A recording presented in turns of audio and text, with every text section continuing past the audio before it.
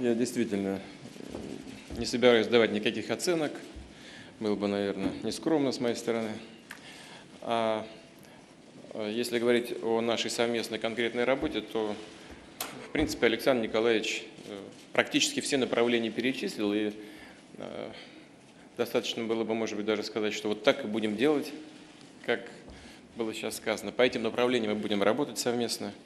Но, тем не менее, все-таки по некоторым ключевым моментам считаю нужным пройтись.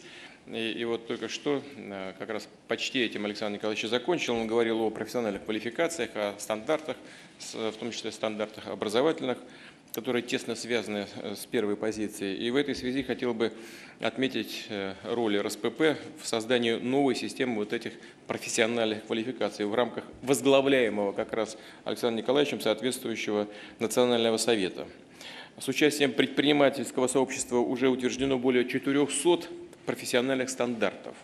Подготовлен законопроект об обязательном применении работодателями профстандартов, а также о формировании на их основе государственных образовательных стандартов.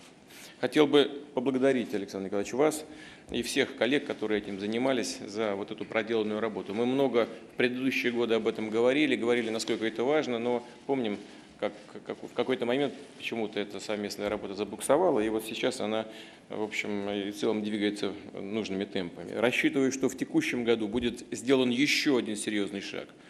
Создана нормативная база по, э, для независимой оценки профессиональных квалификаций. Важным направлением э, нашей работы стало участие в подготовке национального рейтинга инвестиционного климата в субъектах Российской Федерации. И, кстати, этот проект был запущен как раз год назад, тоже, по-моему, на съезде РСПП. В прошлом году проведено исследование э, в пилотных регионах. В настоящий момент ведется опрос предпринимателей уже по всей России.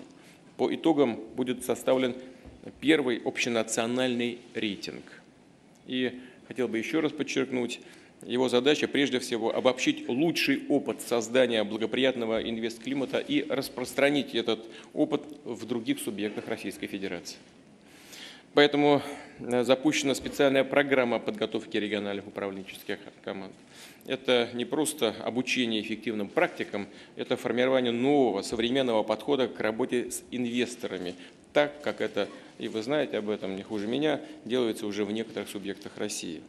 Э, для создания комфортного делового климата, комфортной деловой среды. И я прошу РСПП, другие деловые объединения и дальше принимать самое активное участие в работе над национальным рейтингом инвестклимата. Контролировать реализацию шагов по улучшению бизнес-среды. Уважаемые коллеги, преодолеть неблагоприятную экономическую конъюнктуру – о которой здесь тоже было сказано, выйти на устойчивую траекторию роста можно только через партнерство государства и бизнеса. Конечно, без доверия здесь невозможно. Через общее понимание стратегических задач страны и учета взаимных интересов. В плане по стабилизации экономики предусмотрен целый набор мер содействия бизнесу, как крупному, так и среднему, так и малому. В рамках федерального бюджета, как вы знаете, создан специальный антикризисный фонд. Его объем после принятия поправок в бюджет на текущий год составит почти 234 миллиарда рублей. Средства антикризисного фонда предполагается направить прежде всего на поддержку системообразующих предприятий, на реализацию дополнительных мер по стимулированию отраслей экономики малого и среднего предпринимательства и рынка труда. Ну, собственно говоря, вот Александр Николаевич сейчас об этом только что и сказал, а мы перед тем, как войти вот в этот зал, тоже успели обменяться несколькими соображениями. И я спросил Александра Николаевича, как он оценивает ситуацию. И действительно, пока и ключевая ставка еще достаточно высокая, пока а, не создано дополнительных фундаментальных условий для того, чтобы мы чувствовали себя уверенно. Конечно, вот эта адресная поддержка, она крайне важна. Важно только, и я здесь с Александром Николаевичем согласен, вот в ходе нашего короткого обмена мнениями, в том, что правительство должно наладить вот эту практическую работу по принятию решений и подведению соответствующих средств до тех самых э, предприятий, о которых я только что сказал. Убежден, надо последовательно и решительно развязывать системные вопросы в экономике и в социальной сфере, чтобы обеспечить новое качество и динамику нашего развития, чтобы раскрыть потенциал регионов. Правительственной комиссии по экономическому развитию и интеграции э, поручено разработать механизмы повышения эффективности экономики. И я просил бы РСПП, другие предпринимательские объединения подключиться к работе комиссии и вносить свои предложения. Знаю, что предпринимательское сообщество готовит дополнительные меры поддержки малого и среднего бизнеса, а также компаний, активно инвестирующих в предприятия, создаваемых с нуля. Обсудим эти и другие инициативы на ближайшем заседании Государственного совета и его президиума. И хотелось бы тоже получить, конечно, ваши соображения и предложения по этому вопросу. Добавлю, что на Дальнем Востоке уже э, начато формирование территорий опережающего развития, где инвесторы получат особые льготы по налогам, по подключению к инфраструктуре и так далее. И вновь хотел бы повторить, дальнейшее расширение свободы для бизнеса – лучший ответ на все внешние вызовы и ограничения.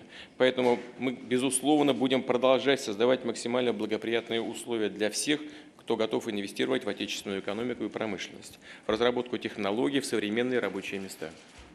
В этой связи хотел бы сказать о э, принимаемых решениях в отношении компаний, граждан, которые хотят легализовать свои капиталы и активы, в том числе вернуть их из офшорных юрисдикций.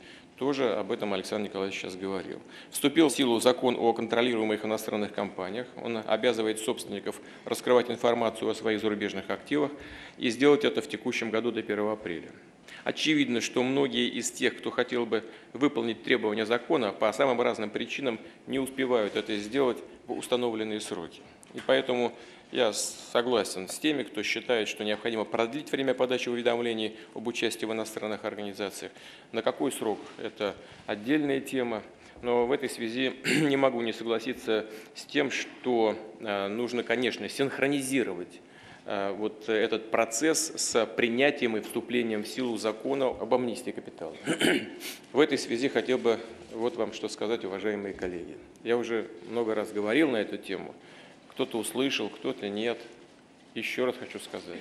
Ситуация такая, и вот э, там поступает, э, так, я бы сказал, несколько тревожная информация из некоторых стран, что э, у нас складывается впечатление, что могут быть предприняты попытки воспрепятствовать возврату капиталов в Россию.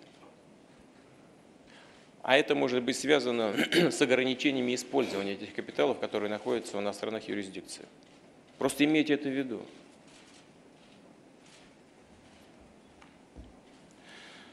И, конечно, каждый из вас должен сам принять такое решение. Наша задача, я много раз правительству об этом сказал, Центральному банку, все правоохранительной системе уже тысячу раз сказано. И хочу вас заверить в том, что мы будем делать все для того, чтобы никто э, не э, трактовал э, закон так, как выгодно, в том числе и правоохранительная сфера. Значит, средства перевели, задачу решили, никто не должен туда лезть и выковыривать там чего-то чего не положено в рамках закона. Э, это первое. И второе, э, вот это действие должно быть э, ну, максимально необременительным с экономической точки зрения. Ну а там дальше вам решать. Но, но опасность такая, возможность заблокировать возможно, переводы, в том числе в российскую юрисдикцию, она существует. Механизмы должны быть понятными, простыми, о которых я говорю, и соответствовать, конечно, требованиям ФАТФ.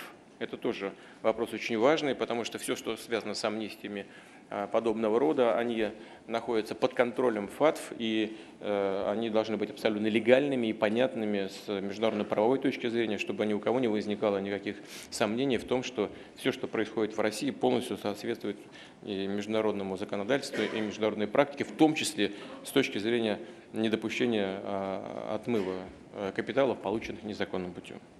Уважаемые друзья, чтобы страна уверенно развивалась, чтобы у миллионов людей была хорошая работа, жизненная перспектива, ответственный бизнес должен, конечно, постоянно стремиться к лидерству, ставить перед собой амбициозные задачи. Уверен, что необходимый потенциал для этого у нас есть. И на поддержку государства вы, конечно, всегда можете рассчитывать. Разумеется, вот эти инструменты поддержки, они, э, они должны вырабатываться исходя из реалий сегодняшнего дня.